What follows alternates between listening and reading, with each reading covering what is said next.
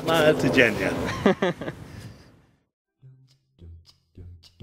We know in January Katie Hopkins joined Rebel Media which is a very far right YouTube channel. Its founder is Ezra Levant who is Jewish and what he tends to do with his members he takes them to Israel, to have a little look around to get a bit of their funding. There's always been speculation as to the connection of the far right and Israel funding them.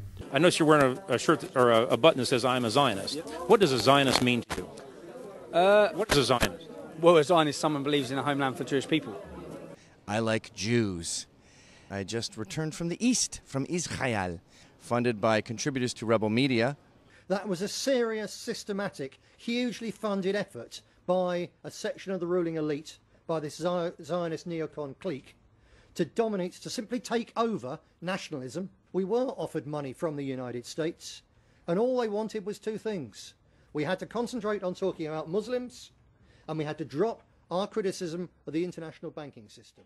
Alright, so here Katie Hopkins makes a visit to Israel. She's addressing the crowd. This is by far one of the most cringiest 20 minutes I've ever seen. Now she starts off, of course, she's got to crack a few jokes. Muslim mayor Sadiq Khan, she starts calling him nipple height. Alright, a safe joke, she's gonna open with that. And I am not a short girl, but he is nipple height. Nipple height! Poof, tough crowd. Didn't get a laugh, repeated it, still dead. Maybe she might be able to recover from it. Let's see what she does. Nipple height is not a height you want to be. Oof, you hate to see that mate. Mega cringe. Didn't go too well. She doesn't give up hope. She goes for another joke. Let's hear it, mate. If a guy's got a hat on or long hair, don't go rubbing your groin on him. Oh my. She's gone for the sex joke. That's by far the easiest joke. It's guaranteed to get a laugh. Let's see what happens. I wasn't planning on doing that either. But anyway. Ah man. She had to use but anyway card just to maintain the little bit of self-respect that she's got left. Oh my. Alright, now she's gonna start talking about a radio show. Bless her. She looks so happy. But listen to that one voice in the crowd. That guy is absolutely brutal. I used to have a radio show on LBC, a talk show. Show.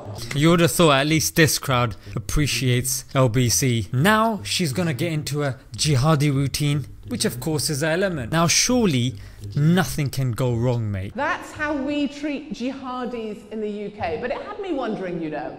Free Tommy! Well, for, well that too. Did she just get heckled by a Tommy Robinson fan? Katie Hopkins in different ways to suck up to Israel.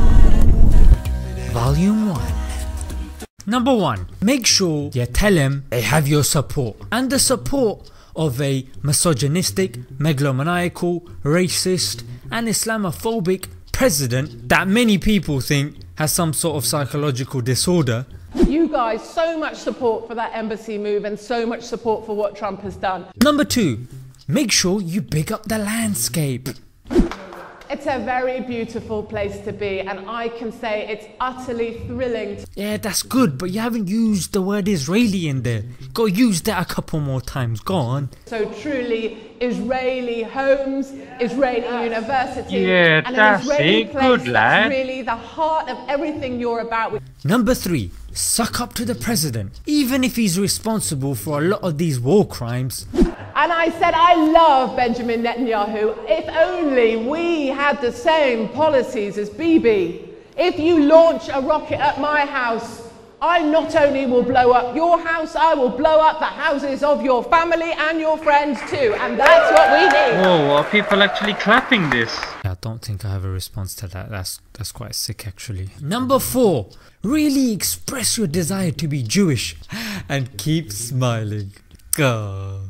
So I'm hopeful to become Jewish. Number 5. Despite fighting for your own country, call it your home.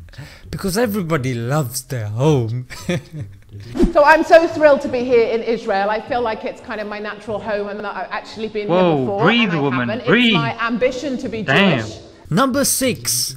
Put your own home country down. Yeah, pick a group of people and use them as a scapegoat. And there's some very ugly women where I come from. Why did the camera go blurry when she said that? Number 7. A jihadi joke because hey, why not? Returning jihadi. Like your job was to go and blow yourself the hell up. And so what you are actually is a failure.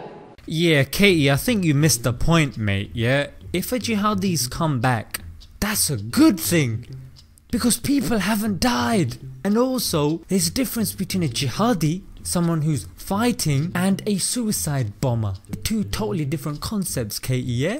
Uh. Number 8. Stick a misplaced sex joke in there, which your audience just does not agree with, mate. About jihadis and jihadi families. They don't allow their boys to study biology or girls' bits at school because it's rude. Despite the fact that she wants to be Jewish, I don't think she properly realizes that they also believe the same thing. Maybe do a bit of research next time and stop fixating on nipples, yeah? Nipple heights. Number 9. Find any excuse to put the opposition down. Venezuela, you know, they're eating their own cats. And somehow they make Israel the issue. I didn't even know that was a thing. If you're eating cats, then you can't speak against the atrocities of the Israeli government. When when did they decide that? I mean, I didn't get that memo. I think I was probably out with my mate. He's nippolite. Nipple heights. And number 10, go in with some solid facts. And the victim of the UNHCR, HRC, HRC, for too long. That was absolutely beautiful, mate. She got it wrong. She went a bit cross-eyed and then she managed to get the answer from that. I don't know how she managed to do it. Alright guys, that's enough from the wisdom of Katie Hopkins. Until next time guys, Assalamu alaikum.